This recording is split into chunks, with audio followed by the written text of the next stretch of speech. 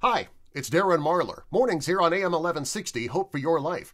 And right now, we are in the middle of this amazing thing called the Turning Point Hope of Revelation contest. Every weekday through the rest of this month, you've got a chance to win something completely different. And then there's the grand prize at the end of the month with seven incredible items valued at almost $200 from David Jeremiah and Turning Point Ministries. Now, uh, one of my favorite teachers here on AM 1160 just so happens to be David Jeremiah. Uh, I've been listening to him for more than 20 years. Uh, he was there uh, on the radio when I first gave my life to Christ, and so he's been instrumental in crafting what I believe in my heart.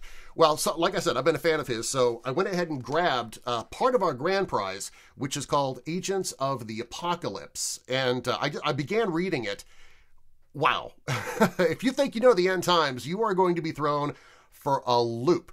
Dr. David Jeremiah, he goes into detail uh, uh, about uh, many of the leaders and the characters that and uh, that you know that bring us into the end times. I mean, you're talking about kings and rulers, royal counselors, uh, angels and uh, demons, even and this came as a surprise to me. Even animals and inanimate objects they play a part in setting things up for the end times. I love the I love the way this book is written because you uh, you get introduced to each of the players uh, through a dramatized narrative, kind of like uh, seeing the story through that character's eyes.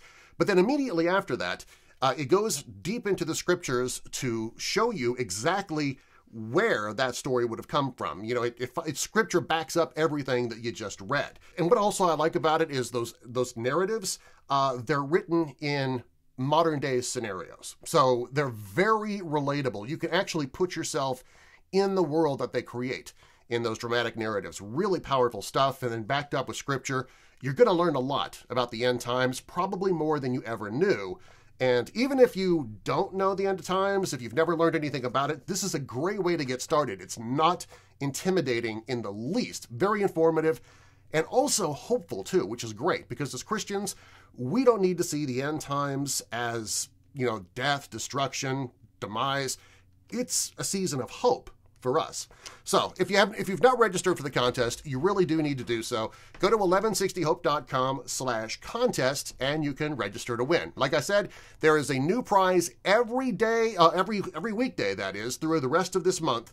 And then at the end of the month, a grand prize of seven items, including Agents of the Apocalypse and other great stuff from Turning Point and David Jeremiah. So go ahead and jump online now to register at 1160hope.com slash contest.